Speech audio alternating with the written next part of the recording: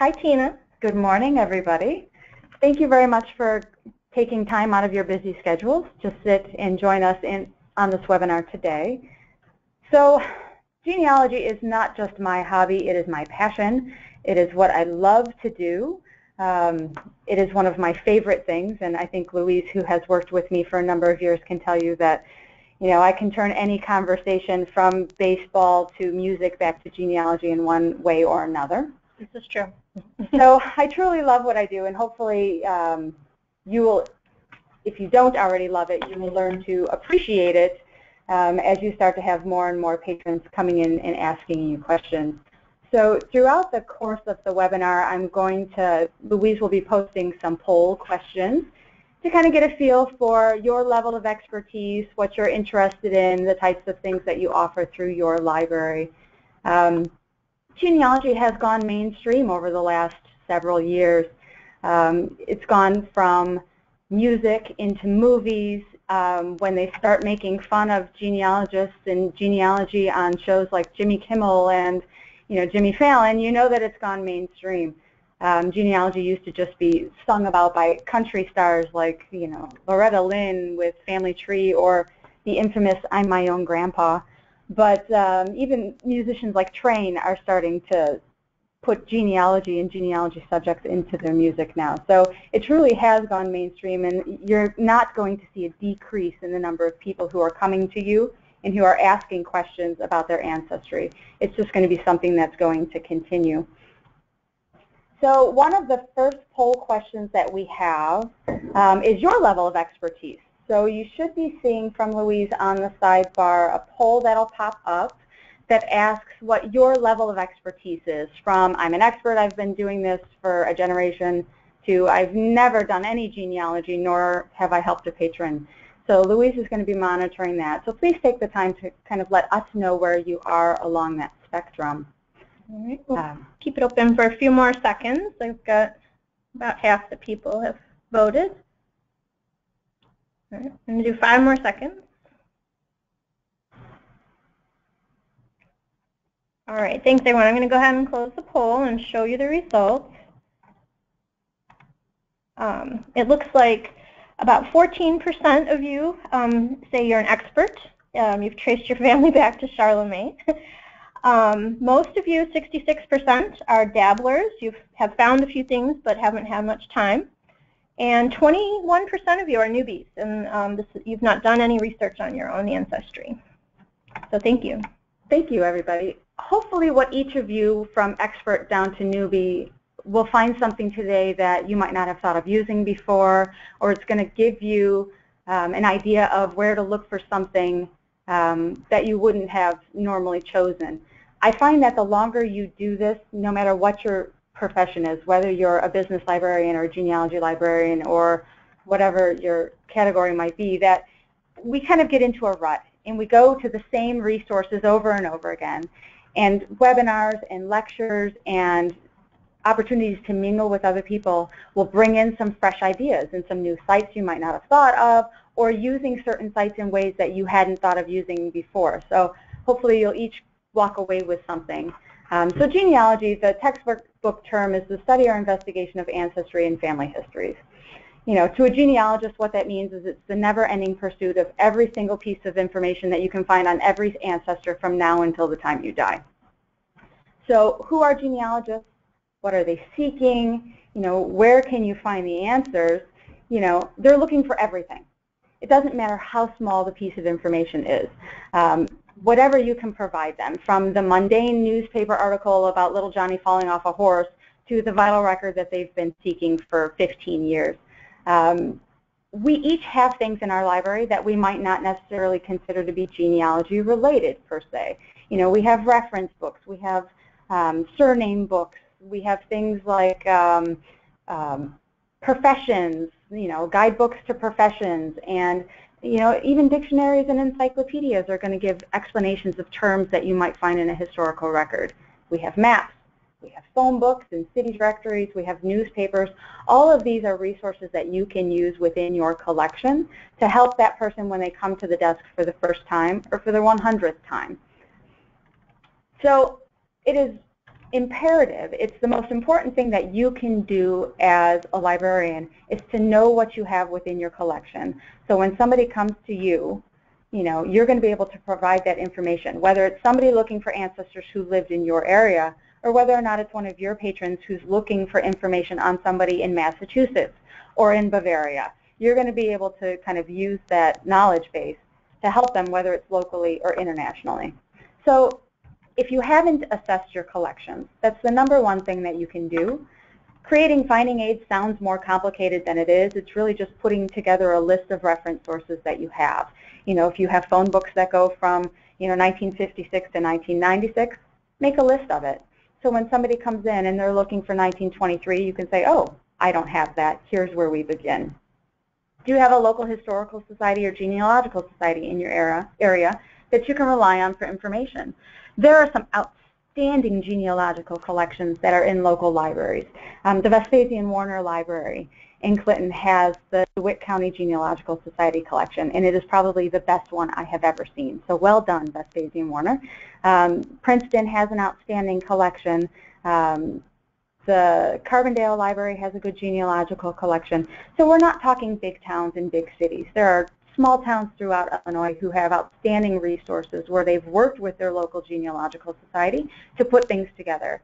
The Oswego Public Library, where I live, has the Fox Valley Genealogical Society collection. Coal City Public Library has the Will Grundy County Genealogical Society collection in it. So if you have the opportunity to work with your local society, by all means do it because typically a library has better access hours.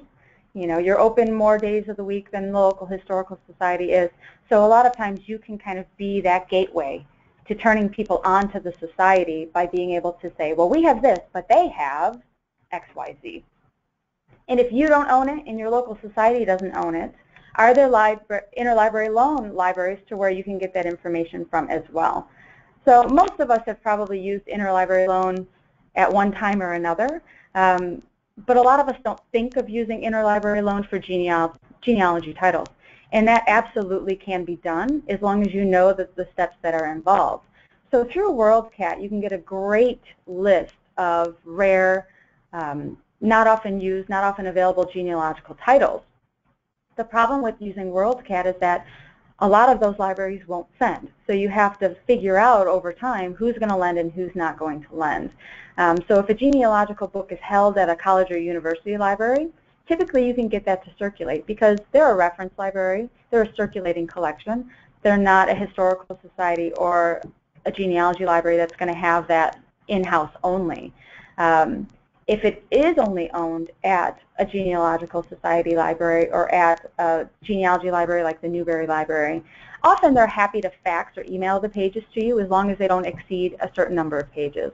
So like in Urbana, they'll send up to 20 pages as long as you tell them exactly what it is you're looking for. So it's a way to use the system to your advantage and to your patrons' advantage um, when you just can't possibly find it online or you just can't possibly have it in your library as well. So what the patrons see when they go to WorldCat is they see the opportunity to look for books, DVDs, CDs, articles. Um, I did an example for the history of the Courtright family. I have a patron at my library who's been trying to get a hold of this book for ages. It's available through Heritage Quest, which I'll talk about in a little bit, but she can't download the whole book. And what she really wants is to just download the whole book. So we went into WorldCat. We did a search on the title.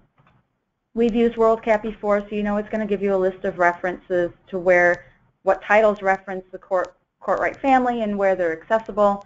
So at the bottom, the early history of the Courtright family, um, which was published in 1907, it's outside of copyright.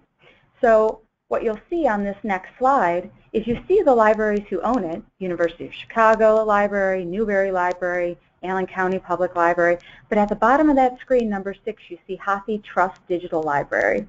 I'm going to come back to HathiTrust um, in a couple of minutes, but I wanted you to see that what you're seeing on this collection aren't just bricks and mortar libraries. The HathiTrust is a digital library that you have access to as well.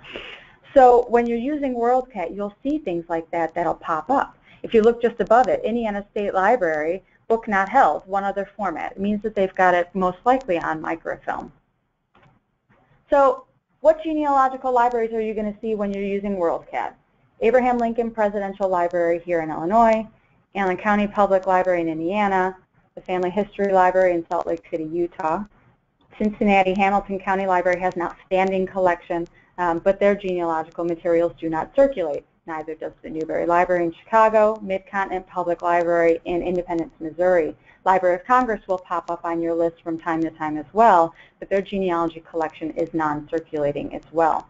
So if you find someplace like University of Michigan, University of Chicago, UIC, any college or university library is more likely to lend a genealogical title if you see it. But if these are the only libraries that own it, you know that you can usually contact them and they can send you copies by fax or by email as well. So I mentioned HathiTrust. So there are lots of collections that are popping up online to where you can find digital materials. You don't always have to just go to Google Books like we used to five or ten years ago. Um, I don't know how many of you have used the Digital Public Library. Um, I'm going to show you a couple screenshots of that in a minute, but you also have Family Search, um, and Internet Archives, which is my personal favorite, and I'm going to walk you through that in a little bit. So I mentioned the Courtright family. So if I put in in DPLA, if I put in the Courtright family, you see it shows me three different books. Um, it shows me the ancestors and descendants of Reuben Courtright, the Courtright family descendants, and history of Van Kortrijk and Courtrights. What's interesting about DPLA is when you go to a title, sometimes it takes you to a completely different collection like HathiTrust. And you see off to the left-hand side that it tells me that all three of these objects come from the HathiTrust. So while DPLA is great because it has a lot of original content in there, you're going to see a lot of overlap as you're using these different collections. So something that might be available in Google Books, but you can't download it, might show up in HathiTrust. So unless you're one of the HathiTrust members, which are UIC and University of Illinois in Champaign-Urbana, you can't download it there either. So then you have to get a lot more creative to where else can I find this? Can I find it in um, Internet Archives? Can I find it in Family Search? How else can I get a hold of some of these titles? So DPLA has some great things in it. Um, just recently, the Illinois Digital Archive collection um, signed a contract to be uploaded into DPLA. So within the next six months, you're going to see the Illinois materials start to populate into the DPLA databases as well. So there's some really cool things, and DPLA is growing by leaps and bounds. Um, so it's a reference source that you're going to want to come back to over and over again, and not just for genealogical materials. It, it has a lot of things in it that you can use um, to your advantage. Plus, you can keep track of particular titles by putting together your own bookshelf. So when somebody comes to you and says, I'm looking for things on your community, you can have a bookshelf already set aside in DPLA where you can point your patrons.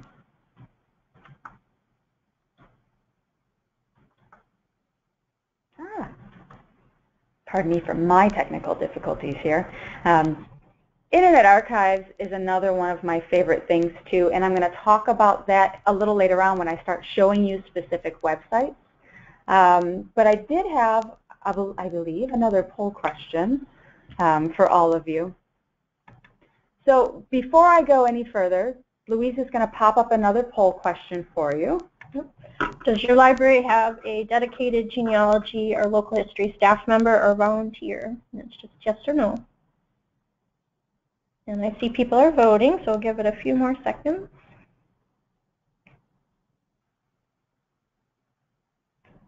All right. You all were very quick on your clicks, so I'm going to go ahead and close the poll and share that with you so you can see. And it says that 41% of you attending today that yes, you do have a dedicated uh, genealogy or local history staff member or volunteer, and 59% of you do not. So thanks. Thank you. For those of you who do not, or even those of you who do, um, there's always training opportunities. So you can brush up on your skills. You can take courses based on specific interests that you have, or um, you might not know a lot about African American genealogy and you want to learn more. There are all kinds of tutorials and free lessons and courses that are out there and available to you. Um, Ancestry has a couple of collections. Family Search has a couple of collections. Those are kind of the two biggest heavy hitters in the genealogical world. So for those of you who have been doing this or dabbled a little, then you're familiar with those two um, corporations.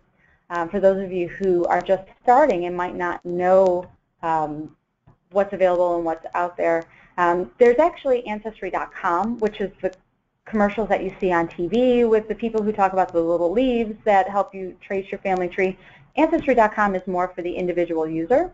What we see in the library world is what's called Ancestry Library Edition, and it's actually owned by a completely different company.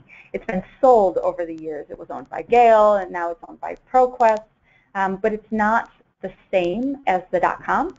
It's about 85% the same. The things that we don't get are the city directory collections, the newspapers, um, and the obituaries. What we do see is we do see the family trees. So if somebody's searching for their ancestry, they'll see the trees out there that are made public, um, but you cannot add to those trees and you cannot um, send those people a message. That's specifically to the dot .com. And it makes sense because Ancestry.com is a for-profit corporation.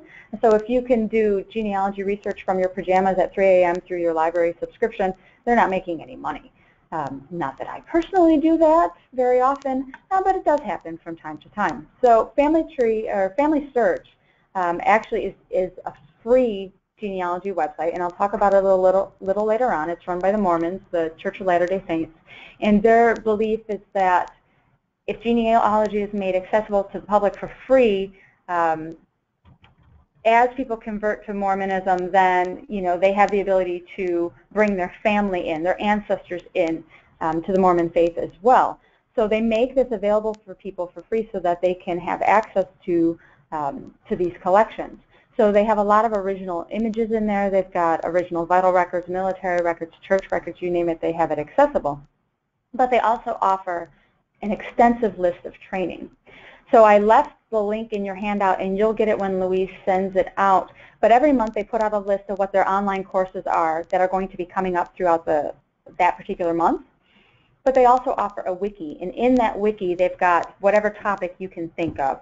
Um, they've got available to you, whether you're doing New England research or Irish research or California Gold Rush research.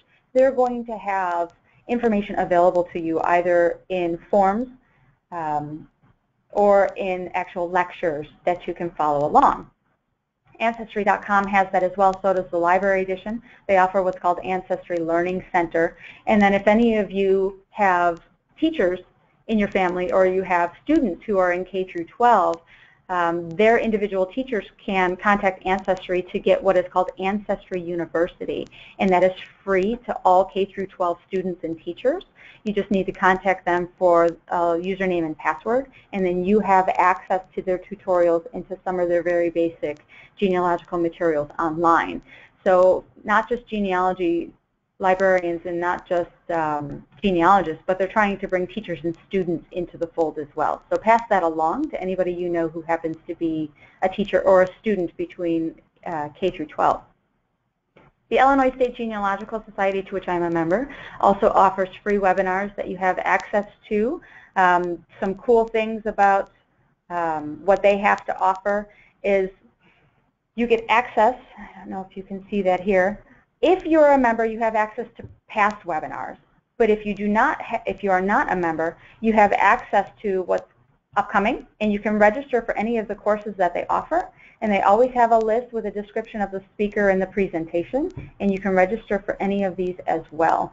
You'll see in April they have Lisa Alzo. I'm going to mention her a little later on. Um, she's actually going to be here um, on the 12th. She's going to be speaking at the DuPage Genealogical Society Conference.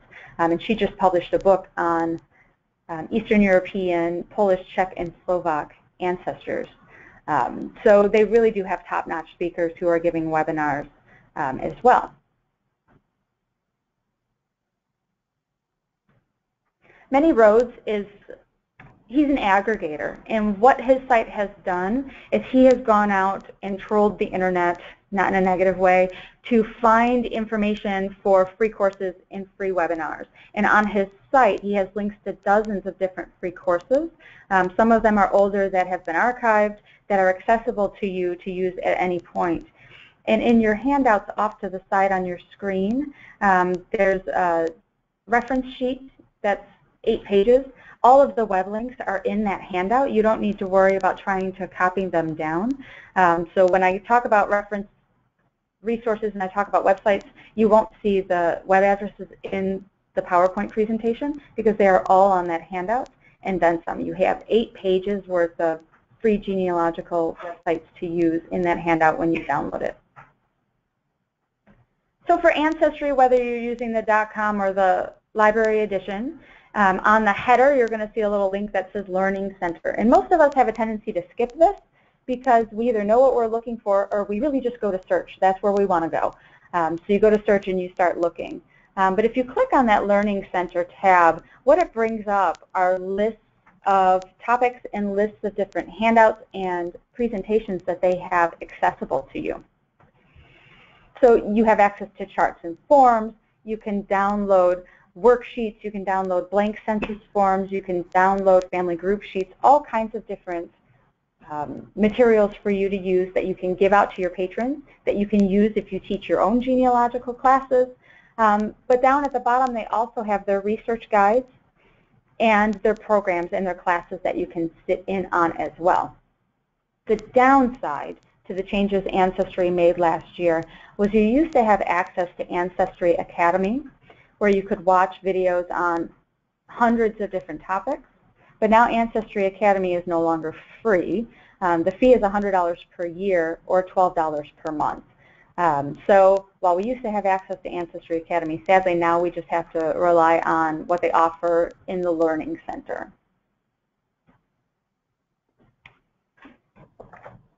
I don't know if you'll have the opportunity to add this into the um, chat box that Louise has off to the side there, but how many of you follow genealogical blogs or RSS feeds? Do I have that as one of my poll questions? Okay, I thought about it, but I didn't want to inundate all of you with questions.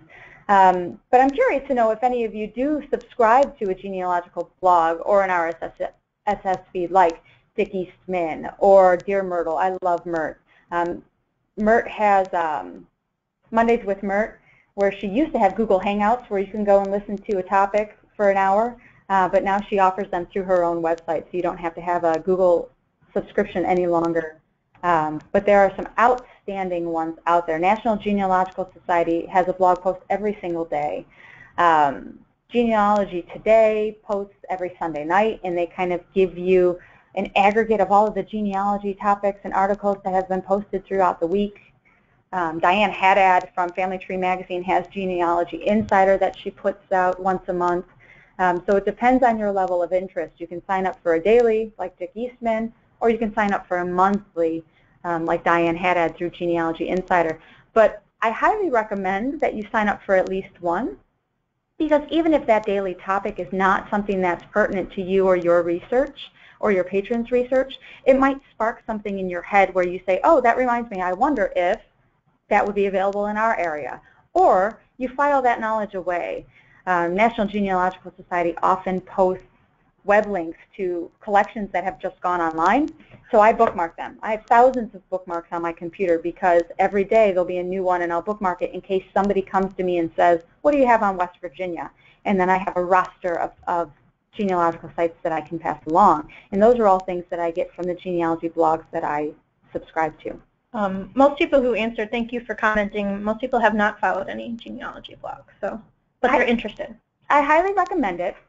Like I said, it depends on your level of interest. Dick Eastman is wonderful, but he's daily. National Genealogical Society is, is awesome. They're incredible, but they're also daily. So it just depends on your on your level of interest. If you just want to wet your wet your stick your toe in the water and see how it goes. Genealogy Today might be a good one because it's just once a week on Sundays. Um, and it kind of gives you a list of what's been going on. So it kind of does that work of searching the web for you. And these are listed in that handout that I gave you with the web links directly to the sites. There are lots of national societies, and actually several of those are in Illinois or in Chicago. So the Polish Genealogical Society of America is based here in Chicago. Um, Afrogen uh, I never say it right, and I apologize. AfriGeneas um, is another great site. They're based out of Atlanta for African American research. We do get questions on that fairly often, and it's a great resource to point people, people to. Federation of Genealogical Societies does accept libraries as members, so you would get their quarterly, you would have access to their databases.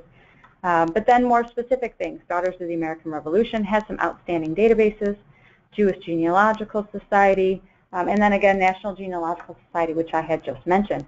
This is just a small sampling of the number of national societies that exist. They exist for ethnicities, they exist for occupations, um, railroad family members, family members who were Masons, all kinds of different societies are out there and accessible to you to use as a resource.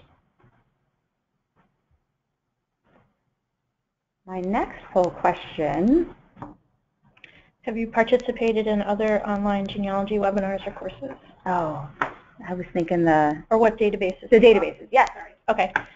So, um, so my question to all of you is, do you have genealogical websites that you offer, already offer through your library's homepage? Do you have Ancestry? Do you have Heritage Quest?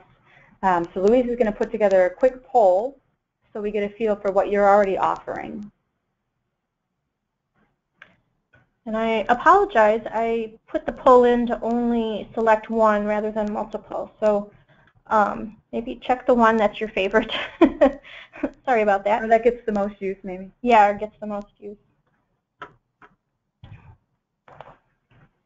And if you want to um, add any others, you can go ahead and type those into your chat box in the questions.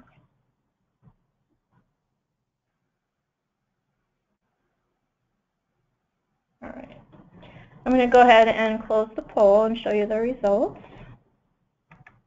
Um, so uh, Ancestry Library Edition was by far the largest. 69% um, uh, of you marked that. 28% uh, of you marked Heritage Quest. Uh, nobody marked Fold 3 or World Vital Records, and 3% of you offered Genealogy Bank or another historical newspaper database. Um, and some of the comments that are coming in is that you also have Ancestry or Heritage Quest um, as well. So, uh, or some of you have both Ancestry and Heritage Quest. So, thank you. The Ancestry Library Edition is owned by ProQuest, which owns Heritage Quest. So, for those of us who have been doing this for a while, last April when they made the switch to the new platform for Heritage Quest, it was extremely painful because in Heritage Quest, genealogists loved it because you could dig deeper. You could do a more granular search by occupation or by age range or by um, birth location. We lost a lot of that when Heritage Quest um, took on the Ancestry Slider platform. So I know for me it was particularly painful um, because I lost the ability to do that granular search by, you know, men named John between the ages of 50 and 59, you know, who lived in Chicago but were born in Albany.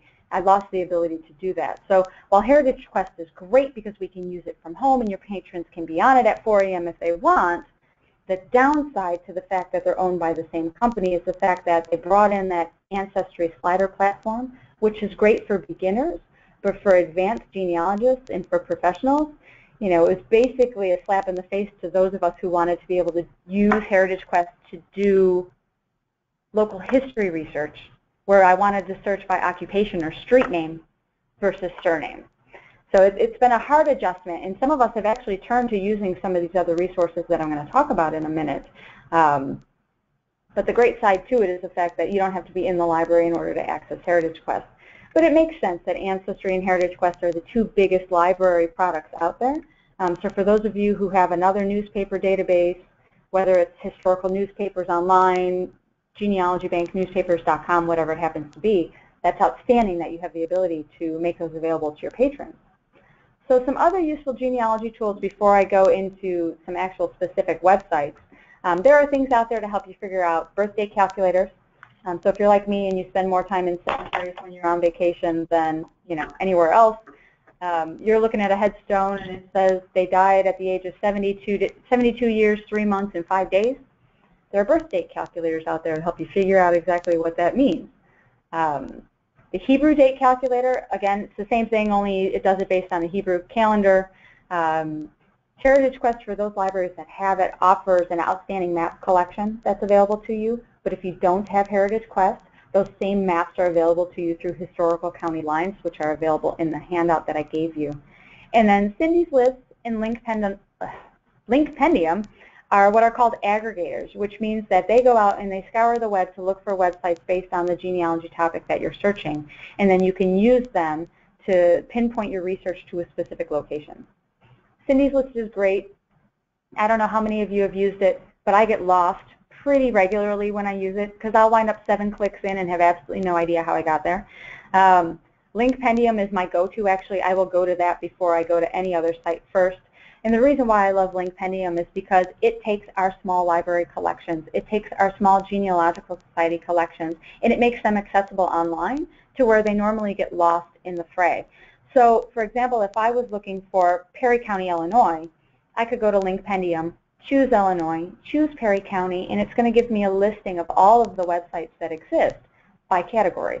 So, bibliographies, cemeteries, vital records, military records, newspapers, libraries, archives, and it's going to give me links to all of the different places where that information exists in Perry County. I use that as my example because the Perry County Historical Society has an outstanding website with all kinds of um, databases and indexes available for people who are doing research downstate. But Linkpendium makes that easy for me to find these little homegrown societies get lost a lot of times when you're doing Google searches, which I'll talk about in a minute. But sites like Cindy's List and Linkpendium really do an outstanding job of making them accessible to you in an easy format. I mentioned books earlier and I talked about Internet Archives.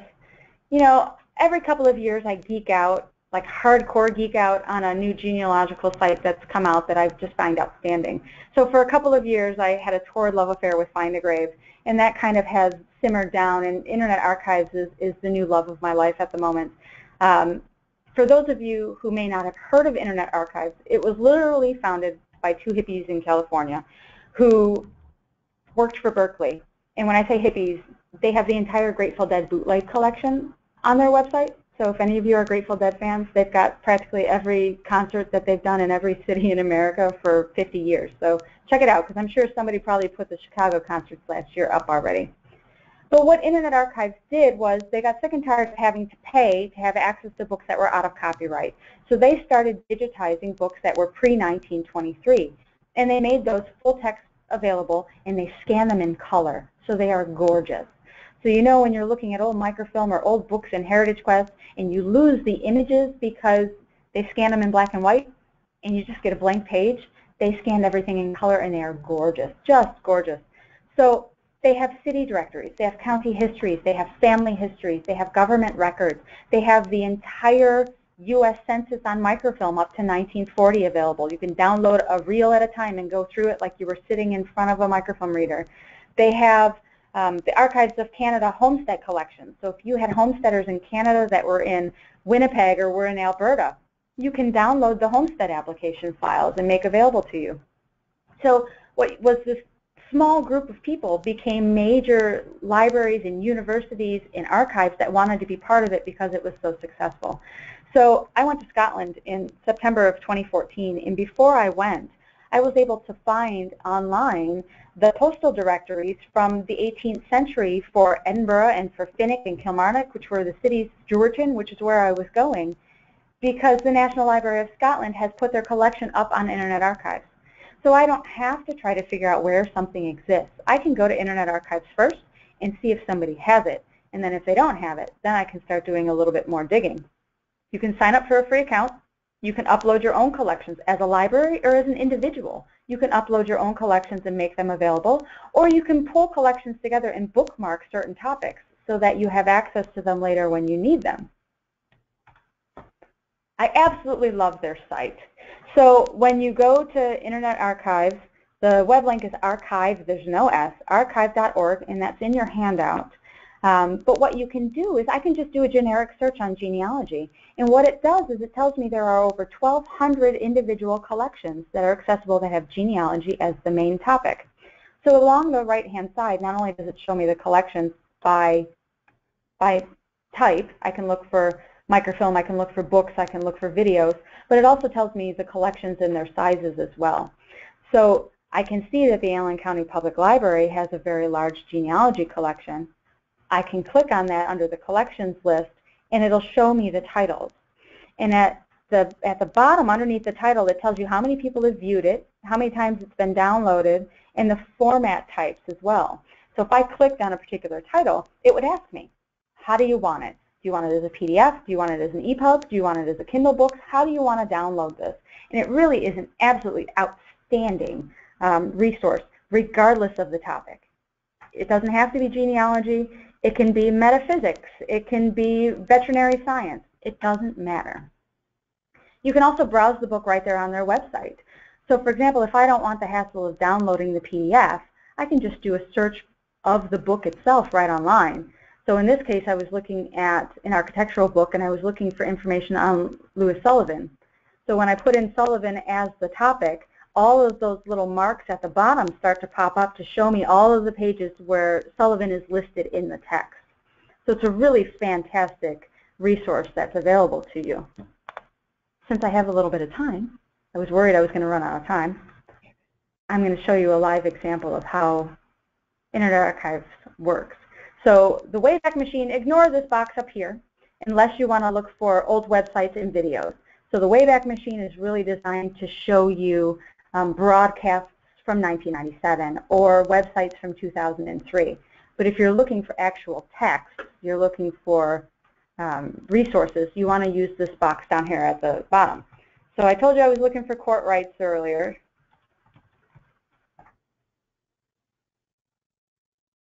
That one that was in HathiTrust that I could not get my hands on because it wasn't available to be downloaded,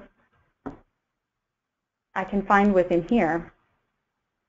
And if I want to search it, I can do the screenshot that we had just seen before. Or I can go up into the corner, I, I can do my search, and I can it'll show me on the screen all of the pages where it exists.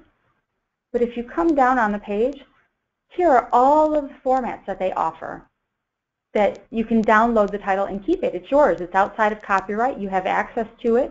It gives you the source citation so you know exactly where it came from. It was digitized by the Boston Public Library gives you all of the information that you need in order to be able to reference it later. The advantage to downloading the title, and I won't do it here, but the advantage to downloading the title is if you download the PDF and do a search in the text of the PDF, you get better search results than if you do a search from the screen up here by using the search box within Internet Archives. And I know that seems counterintuitive. You would think that it would do the same thing, but it actually doesn't. Because of the OCR that they use, um, the PDFs are way better. So what I recommend is always downloading the PDF and opening it. You don't have to save it. Just download it and open it and do your search. And if it doesn't have the name you're looking for, then just close the file. But if you do a search on the website, you might actually miss items that you're looking for. But it just it just has some really cool things in it you know, it, it's just an amazing resource to use regardless of the topic. So if those of you don't already have it bookmarked, I highly recommend that you take the time to go in and bookmark Internet Archive because it's got some really cool stuff. It's one of my favorites. So for those of us who have been doing this for a while, you can't get away from Family Search. I mentioned it earlier because they offer the Research Wiki, you know, they offer the courses that you can take online. They do post a blog, not every week. It kind of varies from time to time. It averages about twice a month that they put out their own blog. But they also have what are called family history centers um, that are scattered throughout the state of Illinois. So we have one in Joliet, there's one in Naperville, there's one in Morris, there's one up north by Des Plaines. I'm sure some of you have some that are close by to your libraries as well. And what they have access to is they have access to some of those paid genealogy websites that we can't afford to subscribe to. So they have World Vital Records, they have Newspaper Archive, they have newspapers.com and Fold3, all of those resources that we would love to have that a lot of us just can't afford based on our library budgets. Um, a lot of them are open to the public multiple days a week, so they have fairly good research hours. They have people who are experts in their particular field, whether you're doing German research or whether you're doing um, Argentinian research, or you're looking for records in Pennsylvania.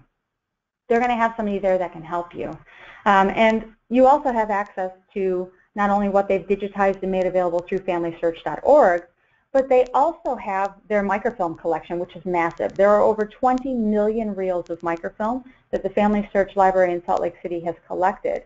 And if your library is a reciprocal borrower, as mine is, or you have a family history center near you, what you can do is you can request, re request those microfilm reels and have them sent to your library or to the local family history center, and then you have access to view them yourself, whether you're doing research on Italy or whether you're doing research on um, Emporia, Kansas.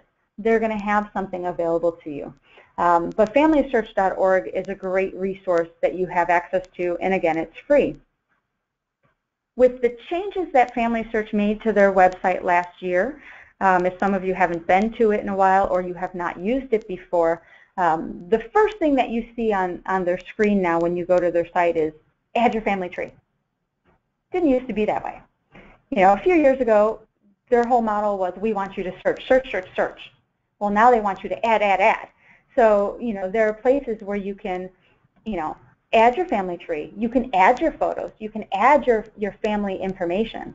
Um, and that's really why you see that as your first, you know, primary thing when you go to their website. But if you go and you're just interested in searching, you can search by any region of the world. So whether you're looking for records in Africa or Asia or in Canada or, or you know, Latin America, you have access to these. But you can also search for specific collections. So you can come down here to collection title and say, I know exactly what I'm looking for. I'm looking for the 1880 U.S. Census, and you can put it in there. Um, or you could tell it, you just want to see everything they have for Illinois, or everything they have for Kansas, or everything they have for Canada. And it's going to pop, pop those records up for you. So Illinois actually has, they say 64 collections. The number's actually not that high because that includes all the U.S censuses and all of those types of things. But they do have some outstanding collections that I want to mention. So they have the Illinois deaths and stillbirths, and I don't know why that didn't come up here, um, which goes from 1916 to 1947. Now the state of Illinois website offers that well, as well. So if you go to CyberDrive Illinois, you're going to see that in there as well. Um, the difference between CyberDrive Illinois and Family Search is that when CyberDrive put together their deaths and stillbirths collection, all they included was name, date, and um, certificate number. So you get the county and the certificate number. The people at Family Search indexed the entire death certificate. So what that tells you is it shows you every field so it'll tell you what cemetery they're buried in, who their parents are, who their spouse is. It'll give you a lot of information. So here you kind of see some of the things that they have accessible for Illinois. So the Illinois Deaths and Stillbirths database is an outstanding one. If any of you are like me and have ancestry that came through the city of Chicago, they have the Cook County and Chicago collections for birth, marriages, and deaths, which go up into the 1920s. Um, so if you had your grandparents were married in Chicago or your you know, great uncle was born in Chicago, you have access to those collections as well. So that's specific to Illinois. They've just added a couple of collections for Illinois as well. They added a generic births and christenings, which you saw a minute ago. And then they have what they just called miscellaneous county records, which has some marriages and some other records kind of thrown in. The state collections are only as good as the people who are indexing. Ancestry has paid professionals. Family Search has volunteers. So some counties some states, some countries have better records collections available online than others because of the people who are doing um, indexing in those regions. So Ohio has outstanding collections that are in Family Search that have been done. Colorado, not so much. You know, same with New Mexico. Not as many people are indexing those records, or Florida as are indexing North Carolina or New York. So don't be disappointed if you're not finding what you're looking for in Family Search. You always have access to the microfilm that you can request. There is a fee to have them sent to you. It's really nominal. You know, it's like $6 to have it sent over. Um, so go in and take advantage of their books and their catalogs. So remember when I was talking about digitized books and I talked about HathiTrust and I talked about Google Books, Family Search also has books that they have digitized as well. So again, we keep coming up with, you know, these same books that we're seeing both in the HathiTrust, what we find in Internet Archives, So there are multiple ways to get at the same title. And what it does is it brings up the PDF for you. Now, can I scroll down? Now you notice the copy in here, it's a fairly good copy. I mean, it's a pretty good image. They scanned in grayscale. They did not scan in color. Um, so it's better than black and white, but it's not as great as what you're going to find on Internet Archives. So take advantage of their books, take advantage of their card catalog, you know, go in and, and use those microfilms that they make available to you. Not everything has to be digital, and not everything is going to be available digitally. But if you can point them in the right direction to where they can find it, they're going to love you for it nonetheless. Fold3 I threw in here. Even though Fold3 is a subscription database, Fold3 does offer a lot of free collections that you have access to. Um, some of their World War II collections, their Traveling Vietnam Wall, Wall collection is free. Um, they've got some other collections that are free on their website as well. And then if you sign up on their account to receive their newsletter, about once or twice a year they'll offer free weekends Usually for Memorial Day and for Veterans Day, they'll offer you know three or four days of free access, and then you can go in and do all of your searching. Um, so make a list of the things that you want to find and go use it. Um, but what Fold3 is, is it was originally called Footnote, and they were contracted from the National Archives in D.C. to digitize military records. The government built this beautiful $10 million research room for military records that they've never been able to open because the archives just doesn't have the funding. It keeps having their funding cut. We know all about that. So what they did was they contracted with Fold3 to make these records available online, thinking that if they put it online, fewer people would need to come into the library to access the materials. Well, we know that's not the truth, and we know that if you put it online, people are going to come. So the National Archives has seen a dramatic increase in the number of people going to the archives because they found the records on Fold3 and they want to look at the originals. So keep that in mind. If you put your collections online, people are going to come to you because they're going to want to see what you have. They have city directories. They've got newspapers. They have um, vital records for Texas and some New England states. And what they have is what they call Web 2.0 technology. So you can create what they refer to as Facebook pages for the dead, where you can go in and you can create a page for an individual, and you can add your own photo, you can use records out of their collection, or you can upload your own collections. Um, so they have some really great ways to which you can be interactive. Plus you can comment and you can tag records that you find in Fold3 as well. So if you see a record and it's misindexed or misspelled, you can make a note right in the record that says that's not actually how this name is spelled, it should be spelled this way. Uh, so that way the next person who comes along will be able to see what the correction is. So now here's my question to all of you. It's not really a poll question, it's just something to think about. How many of us are guilty of Googling our own names? I know I am. I um, am. so Google is a great resource, but it's not the best resource. So us as librarians, we'll use Google quickly if we need a street address or if we need driving directions to get to a particular location. Google can be good for genealogists as long as they know what and how Google is going to work for them.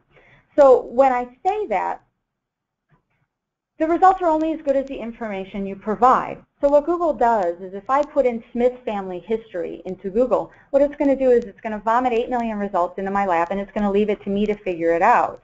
Well, some of us I'm sure have seen that study that says that when you're on Google, people will technically, typically only go two pages in before they change their search term as genealogists, we're tenacious. We might even go 37 pages in. But eventually we're going to change our search and we're going to change our search terms. Google doesn't ask, do you mean? So if I'm looking and I put in Smith family tree, it's not going to look for Smith genealogy, Smith family heraldry, Smith ancestry. It's not looking for all of those different terms that you could use to say the same thing. And we know how Google works. You know, if I just put in Smith family tree, it's looking for Smith and family and tree. Or if I put it in quotes, if somebody puts in Smith and Michael's family tree, it's not going to find it. So there are other sites out there that I recommend if you're going to be quote-unquote Googling your name. And my favorite is Yippy, it's just yippy.com, or Bing. If any of you have used Bing, I use Bing a lot more than I used to. Um, but what it does is it clusters information. Yippy used to be called Clusty, the clustering engine, um, and it's an out outstanding resource because what it does is it says, do you mean heraldry? Do you mean ancestry? Do you mean genealogy? And it gives you categories of what that would look like. So if I put in Smith family genealogy, you see along the line, do we mean do we want just photographs? Do we mean family history? And it tells you how many articles are in each one of those categories so you can pursue that further. I love the fact that this does this for me because I think it helps those who are just beginning feel confident that they're getting a good search versus Google where it's so easy to be overwhelmed because it's just throwing thousands and thousands and thousands of resources in your lap and leaving you to sort it out. So I use Yippy a lot. Bing will do the same thing. Yippy does it slightly better. Google is great for several things though. You have access to Google Books, you have access to Google Maps, and you have access to Google News. Now, have any of you used Google News before? Um, if you haven't, it's something that can be extremely useful to you, but at the same point, it is extremely frustrating. It's like looking at an old microfilm reader because you can look at the newspapers, but you can't search them. They're not printable, and they're not indexed by the name of the new, by the location. And I wanted to show you what this looks like. So in your handout, you have access to this bookmark, so it'll take you right to the page. So for me, if I'm doing search locally, there are two Aurora newspapers in here. You know, you've got the Aurora Daily Express, and you've got the Aurora Daily Star. But how many, how many states have Aurora as a city? Or Ottawa is another example. You know, if I go to Ottawa, you know, you have Oh, I went too far, didn't I? No, I didn't. Yeah, I did. I apologize if I'm making any of you nauseous. So if you look at this record, you have the Ottawa Argus, Ottawa Citizen, the Ottawa Daily Citizen, the Ottawa Free, Free Trader, Free Press, Ottawa Times. Which Ottawa? That's what's so mad maddening about Google News, is the fact that you have to click on which one to figure out if it's Ottawa, Illinois, which happens to be the Ottawa Argus, or, or um, yeah, Ottawa Argus, or are we looking at Ottawa in Canada? And in fact, almost all of these except for one is Ottawa, Canada. So it's an outstanding resource if you have ancestors who lived in France or Italy or, or they lived in Canada or Australia because they have international newspapers in here. It's maddening because they only give you the title. They don't tell you the location. So there are Illinois papers in here. Um, they're just hard to find because you have to know what the name of the paper is in order to find it. But once you find it and you decide that you want to take a look, it's just like looking at newspaper microfilm. You have to go issue by issue. You have to go page by page. You know, and you have to pan around. There's no printing, there's no saving, there's no searching. So it can be very frustrating. I do a lot of print screens. That's how I get around the fact that you can't print these is I just do a print screen, I drop it in a Microsoft Office products, and I crop it and save it. Um, but it's frustrating that we can see it, but we can't have it. So Google News has some outstanding things in it. It has the St. Petersburg Times, because here in Illinois, when people are retiring, a lot of times they're going to Arizona or they're going to Florida. So I can find a lot of information on people who retired to Florida in the 80s, 90s, 2000s. They have the Milwaukee um, Journal Sentinel in here. They have um, Phoenix newspapers. They've got California newspapers in here. So it's not all historic. A lot of it are modern newspapers as well, which are great for finding those obits for you know, the recently deceased. And when I say recently deceased, I mean within the last 20 years, which can somehow be hard to find. But it's a great resource, but just keep in mind that it's not a quick fix. It's going to take time to sit and go through issue by issue, page by page. Like we saw in that particular issue, you know, you have to just go through as if you were looking at the microfilm and just go page by page, you know, article by article until you find what it is that you're looking for. So it's not, it's not a quick solution, but it's definitely an outstanding free resource that you have access to that a lot of people really don't take advantage of very often. So for those of you who have been doing this for a while, hopefully you've been using Google News um, and you've had some success stories. I have had some success stories, um, but it's certainly time consuming. It certainly takes time to have to go through page by page. Speaking of newspapers, There are some other outstanding digitized newspaper collections that are accessible to you. Library of Congress is the most well-known with Chronicling America. They do a lot of mid-tier newspapers. They do a lot of, you know, large cities but not huge cities. You know, you're not finding Chicago and New York in there. You're finding, you know, places like Milwaukee, um, Minneapolis, Indianapolis. You're finding those kind of mid-tier size towns, um, but an outstanding resource. A couple that are relatively new to the scene are The Ancestor Hunt, and you have to put the in. It is The Ancestor Hunt. Um, if you put an Ancestor Hunt, you get a completely different website. Um, they have newspapers. Elephind is an international free newspaper website um, that I'll show you. And then Fulton History, which I absolutely adore. But um, Tom, the man who runs their website, personally digitized over 12 million newspapers for the state of New York, the entire state. Whether you're in Schenectady or whether you're in the Finger Lakes, he digitized them all from the 1820s into the 1990s. Um, the problem is his search is horrible.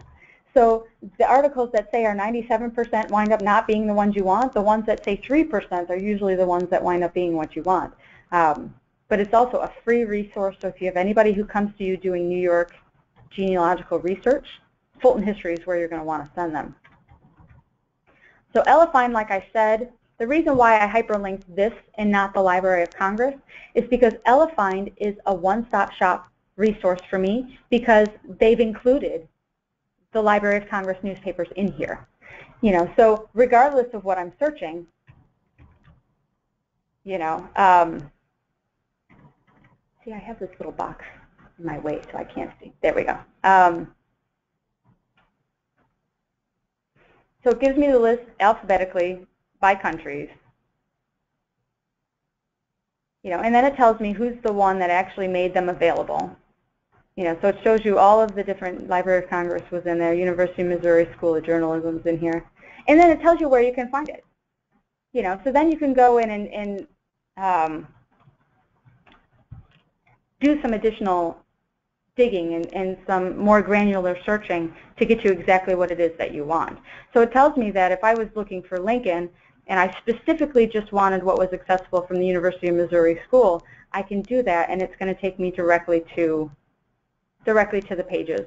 And it's going to make it accessible to me that I can download, I can print it, you know. So it's got some good resources in it. I really like Elephind because I do a lot of research in New Zealand and in Australia um, because of a project that I've been working on. And they have like the Auckland, New Zealand papers in there so that I can do my searching. As genealogists, for those of us who have been doing it for a while, we know that information is not going to be in just one place. Siblings move around, parents move around, children move around. So I actually found an obit in the Auckland, New Zealand newspaper for John Folds of Lyons, Minnesota, because his brother was living in Auckland at the time, and that obit, which isn't digitized online because the Lyons papers aren't accessible, I found that obit in Auckland, New Zealand, because that's where his brother was living at the time. So, you know, even if something isn't available online where you think it should be, there's always ways to get around that. The Associated Press has been around since the Civil War, since before the Civil War. So sometimes when you think something's not newsworthy enough to have been picked up by the AP, sometimes you get lucky. To give you an example, there was a suicide in Plainfield in 1907. Ada Smith was a young girl. She was despondent because her fiance had broken their engagement, and she drowned herself in the horse trough of the family farm. That got picked up by the AP and ran in Oklahoma and in California and in um, Atlanta. I mean, it ran all across the country. So, you know, the suicide of a young girl in a town of the population of 700 got picked up by the AP and was run all the way around, you know, the U.S. So, you know, just because a paper isn't online for the year you're looking for in your city it's very possible it could have been picked up and run somewhere else. So these digitized newspaper collections are outstanding because you can search by name and you can do a search without having to choose a location. So they're a great resource for you and they're great to pass on your patrons because you have access to them for free. So in your handout I gave you many more than just what would fit on this slide here. But you have access to those as well. So now specifically for Illinois, for those of us who either have our collections up online or are encouraging patrons who are doing Illinois research. Um, the CARLI digital collections are outstanding if you haven't had the opportunity to use some of these.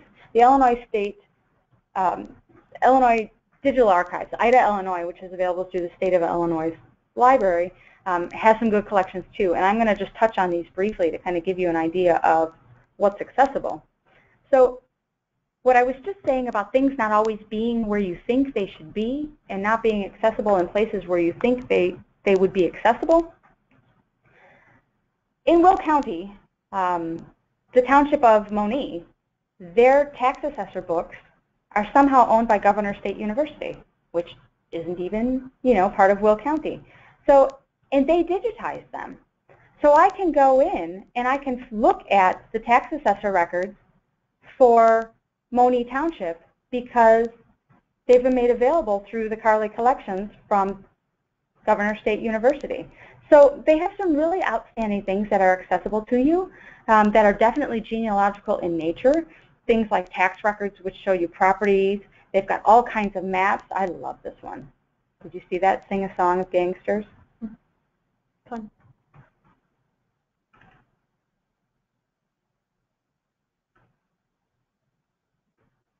Growing up on the south side in Bridgeport, I'm curious to know what, it is they say about uh, about Bridgeport down here. Um, oh, see, there's the stockyards. So yeah, so my family lived eh, pretty much right about over here, you know, where all the bombs are going off. Wonderful, right? Um, so there's some really cool things in here that you have access through by using CARLI. So university collections are great resources of local history. Local history, genealogy work hand in hand. Genealogy just means that you're looking for a particular set of surnames. Genealogy and local history are tied because local history are things that include yearbooks, phone books, city directories, maps, property records, all of those things are going to have individual names on them, but they're not an individual family, which makes them local history versus genealogy. So going in and using a university archives or special collections to learn more about the community is going to have genealogy inherently built into it. So it's going to have photos of, you know, VFW picnics and Grand Army of the Republic reunions, and they're going to have photos of high school classes and grade school classes which may or may not have the individuals named, but it's going to offer that genealogical resource that you're not necessarily going to be able to find um, online without using some of these collections.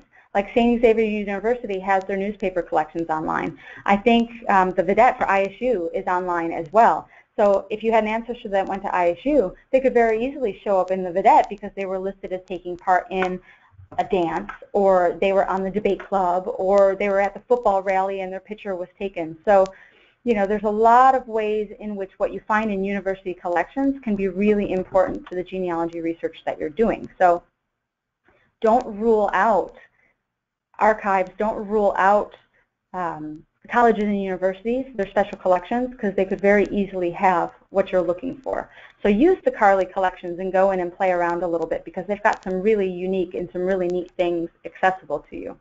University of Illinois Digital Collections has a really good map collection as well that has some great Illinois state maps, state, full state maps, um, which can be important if you had a town name change or a town that died because the railroad closed um, using these old maps through University of Illinois can be really beneficial. So the Illinois Digital Archive, we uploaded our collections to IDA Illinois in 2009, so you'll see the Plainfield Public Library collection in there. We did Will County records, we did photos, we did newspapers. Um, there are other, um, the Naperville Public Library has all of their 20s, 30s, and 40s phone books digitized and accessible in here. So they have a really wide range of things.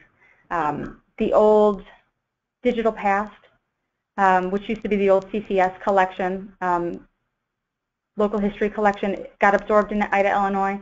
So they have a postcard collection for the entire state of Illinois. So they even have Plainfield in there. Um, so they have some really cool things that are done by us, by us as individual libraries, by us working with historical societies and other organizations. Um, like we saw with CARLI, you can look at items in different sizes. They're fully searchable. I am not wild about the new platform. I don't want to look at IDA as I look at Facebook. I want to be able to search collections, so This kind of bugs me a little. It might not bother the rest of you. Um, but up in the upper right-hand corner, you see that search box. That's where you can put in exactly what you're looking for, or you can just browse all collections. I grew up in Lombard.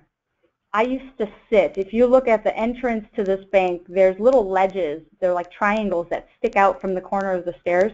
We used to sit on those when I was in sixth, seventh, and eighth grade. So when I found this picture, I started laughing because I remember as a kid hopping up and sitting on those watching the traffic go by. I was so nostalgic for it, I decided I wanted to download it. So up in the upper right-hand corner, you can download, and it asks you, what size? Do you want large? Do you want medium? Or do you want small? What are you going to use it for? Are you putting it in a presentation so you don't need the large?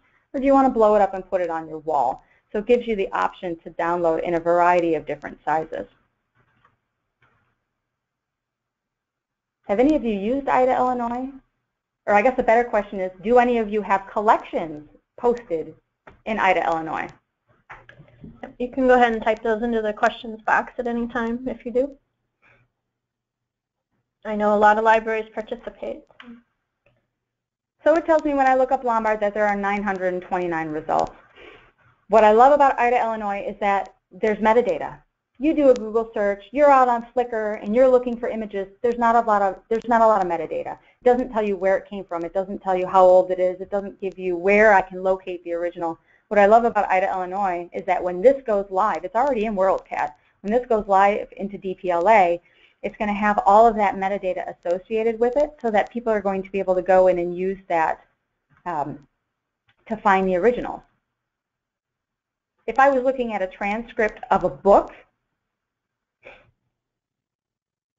it would be translated below it. So if I was looking at a page and I was trying to read old handwriting and I was having a hard time with it, it would show me the image at the top and then it would show me at the bottom the actual text.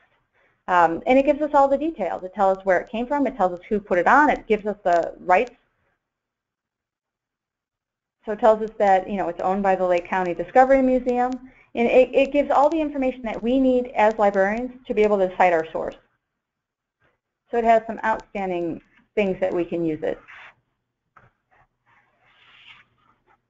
So take advantage of what's available in IDA Illinois. These are our collections. These are the things that we're proud of. These are the things that we wanted to make accessible to the public.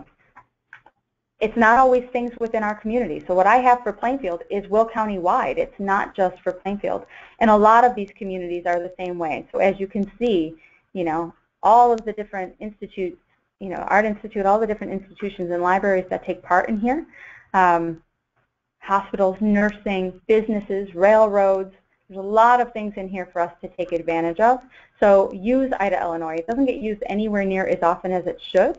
It is probably one of the best local history resources that you are going to find for the state of Illinois. So I'm going to kind of rush through, so to speak, these last few slides because they're just giving you ideas of places to look for information. So now, Illinois County Records, there are some counties that have made their records accessible online with online databases where you can search for a name and then if you choose to purchase the birth record or death record or property record, you can then do so straight through the website and it brings up the link for the original image. Cook County was the first to do it. They're the most well-known. Um, David Orr's office um, put together their collection probably about six years ago, which is why the digital images were removed from Family Search and you were left with the indexes because they had put together their own online collection.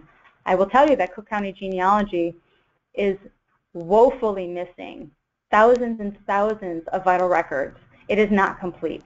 It's, it's, missing most of the marriages from the 1930s and the 1940s, and it's missing a huge swath of birth records um, up until 1915. So if you've gone to Cook County Genealogy and you're disappointed because you can't find mom and dad's marriage certificate, my parents' marriage certificate isn't in there, and I have a copy of it. So I know it's registered in Cook County.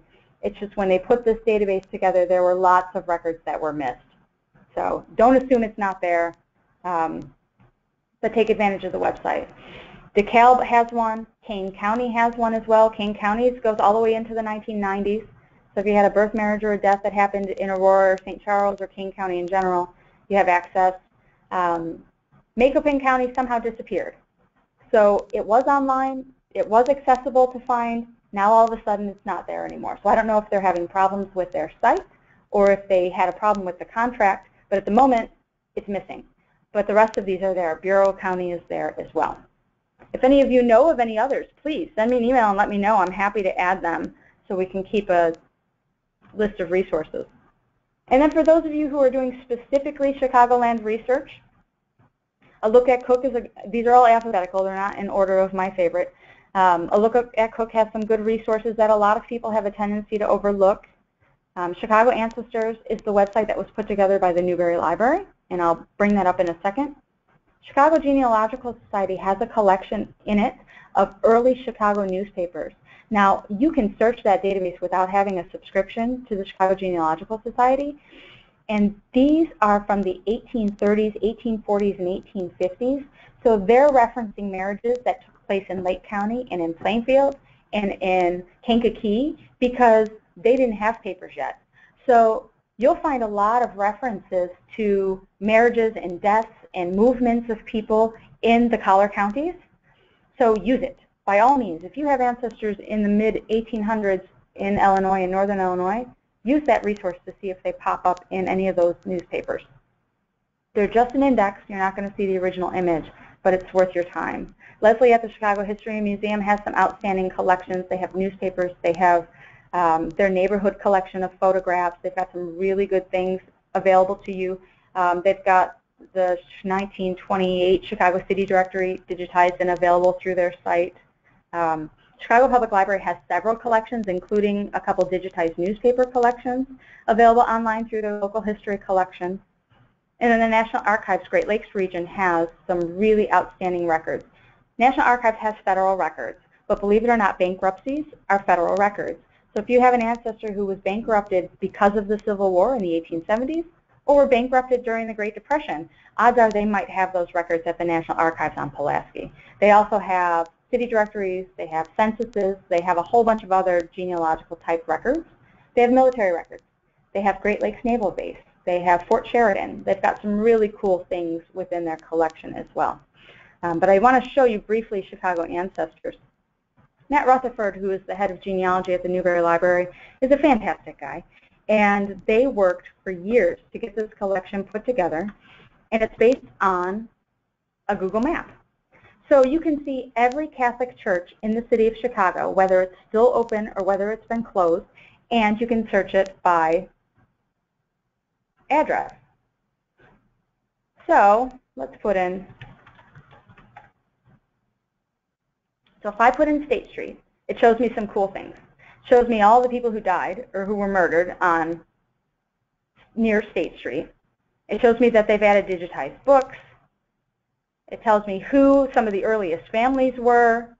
Um, it shows me how that shows up in their maps collection. And then it gives me their church records. So what it tells me is All Saints is the closest church. What it tells me is, is it open? Has it closed? If it's closed, where are the records available now? And the types of records that exist. So it tells me that I can get a family history film sent to me. There's the number and it tells me that they have the marriages and deaths from 1890 to 1915. They also have them on their website. FamilySearch.org has the Chicago Catholic Church parish records up to 1915 for every church, Catholic church, um, but it's page by page. Um, the, it's better to do page by page. The index isn't um, isn't that great, especially for the Polish churches. But they've got some great things that they've been adding to this platform. You know, so it tells me that you know church closed in 1994, but they have the yearbooks at the Chicago History Museum, and they're accessible to me if I go there. So they did an outstanding job of putting this all together. I want to see the homicide just because I'm slightly twisted that way. You know, and then it tells me that near the railroad tracks there was a homicide. You know, gives me the name of the victim, and then tells me that if I go to the homicide database, which is sponsored by Northwestern University, I can find out slightly more details. So there's some cool things in here, but their tools are what are really impressive. So they have access to city directories. They have access to what is most important to anybody who's doing Cook County and Chicago research is that the city renamed and renumbered its streets. So they changed the street names in 1912, but they also renumbered the city streets on two different occasions. So Pulaski which was originally called Crawford, you will see pop up under the street name changes. I grew up on Normal. Um, Normal used to be Butler. So if I'm looking for Normal on the south side, you know, before 1912, I need to be looking under Belt Butler. Or Fifth Street became Wells. So anytime you're looking for anything pre-1912, you want to use one of these two references to get you on the right track and make sure that you let your patrons know all cities renumber and rename. City of Joliet renumbered in the 1930s, City of Aurora renumbered, City of Danville renamed and renumbered.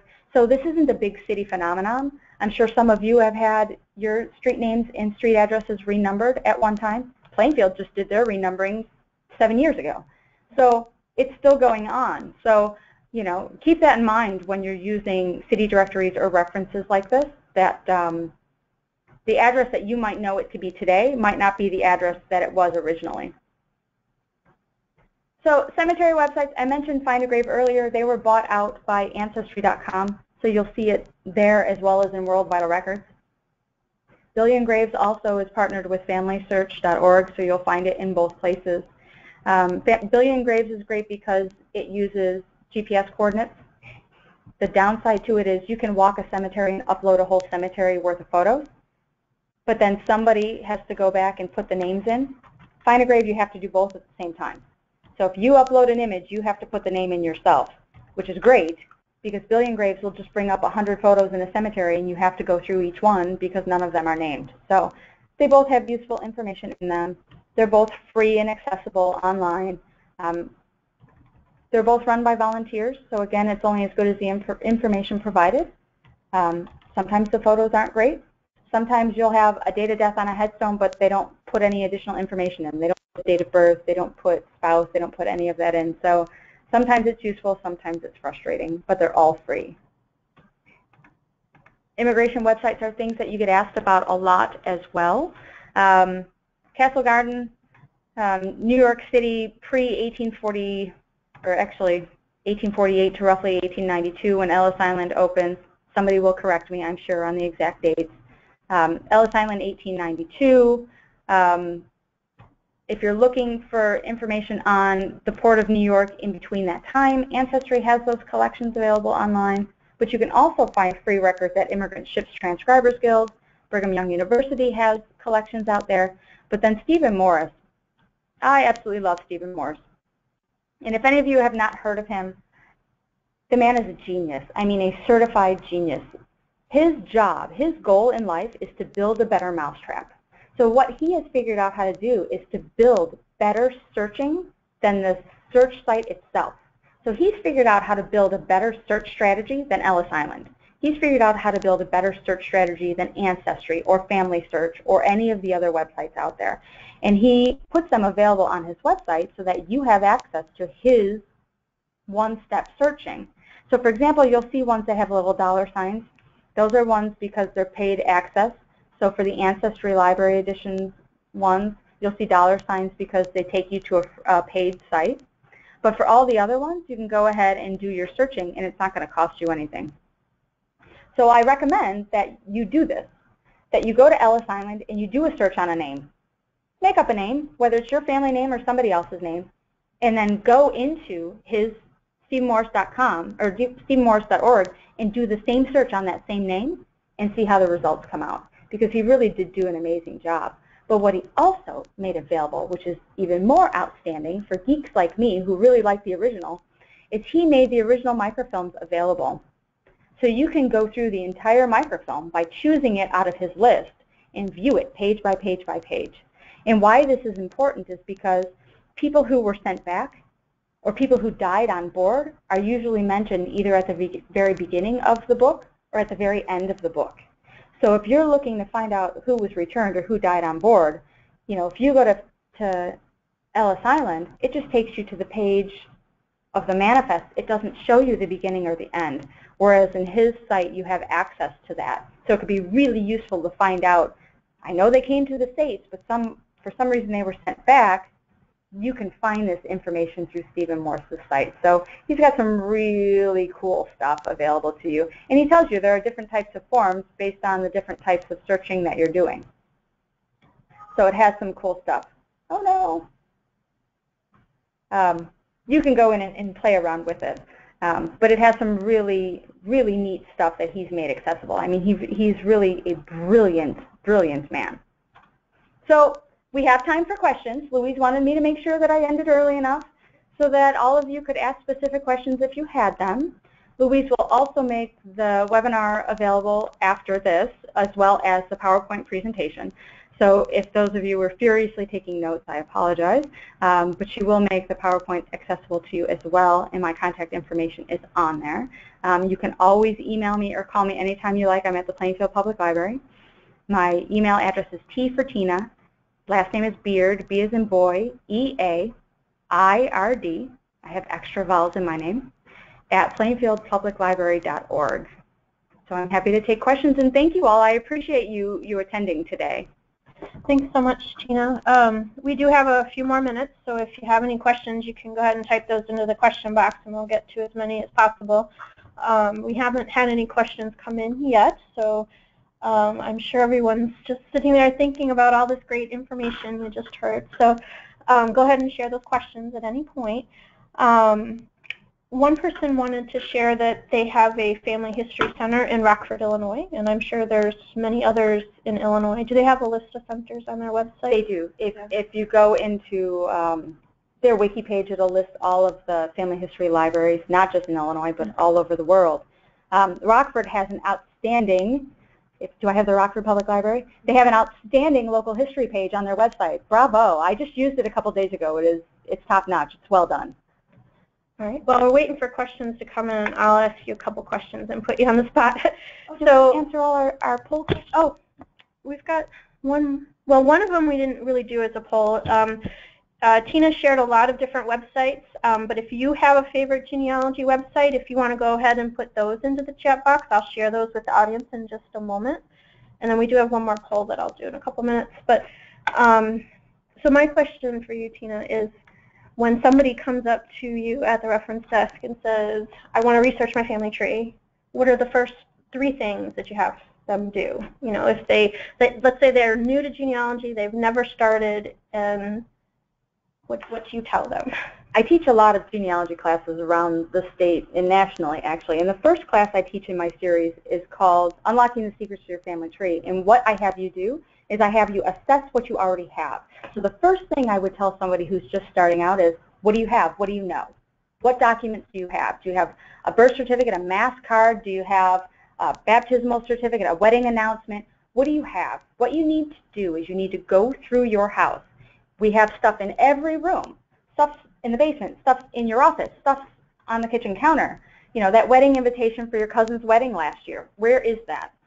take all of that stuff and put it in one location because you can't start searching until you know what it is that you're searching for. You can't do a search for somebody if you, you don't know um, what you have. So the first thing you could do is, is get everything put together and make a list. Okay, I have mom's marriage certificate but not her birth certificate. Okay, I have grandpa's birth certificate but not his death certificate. And then from there, you know what you're looking for. All right, if I'm going to start searching online, I'm going to go and I'm going to look for these things that I'm missing. So once you know what you're missing and what you need, then you can start going online and looking for them. So yes, most people start with Ancestry. Most people start with Family Search. Those are great places to start. But what I would also take advantage of on those sites are the charts and the forms because you need something to work with. You need something organized so you can keep track of what you've found. So I usually print off forms or have forms available to somebody who's just starting out, but they need to know what they have. They need to know what they're missing. Once they know what they're missing, then yes, then I can give them dedicated websites. Okay, you're looking for Irish, you're going to go here. Okay, you're looking for South Carolina, you're going to go here. And I can give them targeted locations on where to start because if you don't know what you're missing, you're going to get frustrated very easily. You know, or you'll find something and you'll be like, oh, I'm so excited, look what I found, but you already had it sitting on the table and you didn't go through what you had first. So those are the three things I recommend doing first. Okay, awesome. So I did get two more questions in. Um, how do you find immigration records for people who arrived by plane and not by ship? It depends on the time period. If we're talking planes, we're talking most likely after 1936. Um, they can be hard, but you have to go through the National Archives. And if you go to archives.gov, they've got a, a place on their website where you can request records. The problem is if they didn't naturalize, then there's a hard way to track them. But if they did naturalize, then the National Archives is the place to start, or the location where they naturalized. Like in the city of Chicago, um, Phil Costello's office, uh, Dorothea Brown's office, the Circuit Court Archives, has a naturalization index that's available. It's online. It's for free. Um, so it'll give you when they entered, where they entered, the name of the ship or whatever it was that they were on, along with their naturalization information. So if they're coming to the States and they're by plane, if they did not naturalize, then it's really hard to track them. Um, but if they did naturalize, then that information would be on their certificate. Um, are you aware of any um, newspaper sites, digital newspaper sites that would work with a library to digitize old newspapers at a low cost? There's several, actually. Ancestry will do it, but I don't recommend it because um, there's there's lots of issues about you retaining the rights to your own stuff when you go through Ancestry. Um, IDA Illinois is always looking for things that they can digitize and upload, so they'd be a great resource. Um, World Vital Records digitizes small collections, um, and they do an outstanding job of making things accessible. Um, those would probably be the two that I would start with first. IDA Illinois would give you wider, I guess, a, a wider market once it goes into DPLA, because then you have um, more people looking at it. Um, someplace like Champaign, um, University of Illinois at Champaign-Urbana, which is digitizing newspapers, they might be interested in doing it. Um, so there's a variety of places out there. Um, but if you send me an email, I can put together a list for you and, and give you some suggestions. All right, and that's the end of the questions, but I did have one person typed in a favorite genealogy website, and that's uh, US GenWeb for county resources. US GenWeb is great. It was down the last couple of days. They had, I don't know if they were hacked or if they had a server go down, but half of their collection was um, out for the count. Um, but US GenWeb is great. It's run by volunteers. Um, the Illinois State Genealogical Society had their website in there originally. Um, the Will County Genealogical Society's information is put in US GenWeb. It's a great resource. The downside to US GenWeb is that a lot of smaller societies don't update their collections often enough. So you'll go to US GenWeb and it'll say last updated 2002. Um, but that doesn't mean that the information that's provided isn't useful. It just means that there could be much more. So if you use something out of US GenWeb, you should always contact the society to see what else they've collected since then. Well, I went ahead and launched the last poll question about whether or not this webinar has given you a little more confidence to help genealogy patrons, and so far everybody has said yes. So thank you. So, yeah, so thank you so much, Tina. I'm going to um, go ahead and close the poll and, and share that. There you go. So, all right. Well, thank you uh, again to Tina for joining us today and sharing her expertise in genealogy research. And um, as she said, uh, thank you uh, to Tina for letting us record and um, share this information with you later. We'll get that up on the RAILS website as soon as possible. So thanks again, Tina, and thank you all for joining us. And we'll go ahead and end the webinar. Enjoy the rest of your day. Thank you, everybody.